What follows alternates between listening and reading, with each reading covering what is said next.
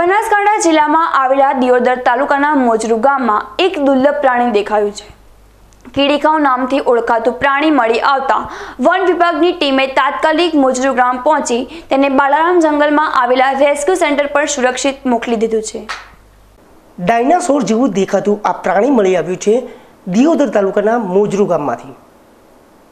આ દુર્લભ પ્રાણીનું નામ કીડીખાવ છે.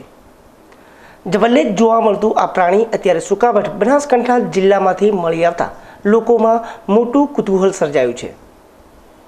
આ ઘટનાને પગલે આસપાસના લોકોએ વન વિભાગને જાણ કરતા વન વિભાગની ટીમે ઘટના સ્થળ પર પહોંચી આ પ્રાણીને બાલારામ ખાતે આવેલા રેસ્ક્યુ સેન્ટર પર સુરક્ષિત રીતે ખસેડ્યું હતું. આ દુર્લભ પ્રાણી વિશે વાત કરવામાં આવે તો ગુજરાતમાં તેને કીડી ખાઉ તરીકે ઓળખવામાં આવે છે અને અંગ્રેજીમાં તેને પેંગોલિંગ તરીકે ઓળખવામાં આવે છે. આ પ્રાણી આફ્રિકા અને એશિયાના જંગલોમાં જોવા મળે છે. પરંતુ તેના લાયક જંગલોના ઝડપથી થઈ રહેલા સફાયાના પગલે હવે આ પ્રાણી નામશેષ થવાની કગાર પર પહોંચી ગયું છે.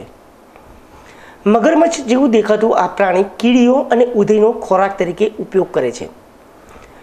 સ્વભાવે શાંત કીડીખાવ નામનું પ્રાણી નામશેષ થવાની કગાર પર પહોંચી ગયું છે. ત્યારે આજે બનાસકાંઠા જિલ્લામાં આ પ્રાણી દેખાતા લોકોમાં પણ કુતૂહલ ફેલાઈ ગયું હતું.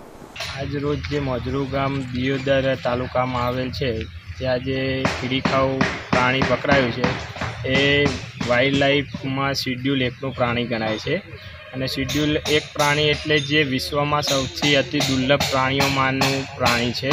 અને વિશ્વ લેવલે તે નાશપ્રાય થવા આવ્યું છે એવું પ્રાણી છે, એ પ્રકારનું પ્રાણી.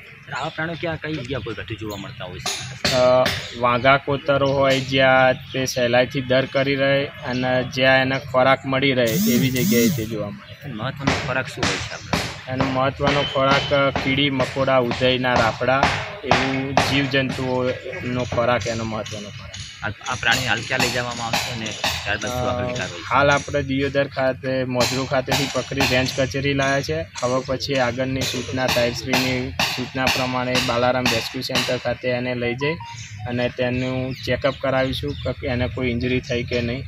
ત્યારબાદ વાય ચીફ વાઇલ્ડ લાઈફ વોર્ડન સાહેબની સૂચના પ્રમાણે તેની આગળની કાર્યવાહી આવશે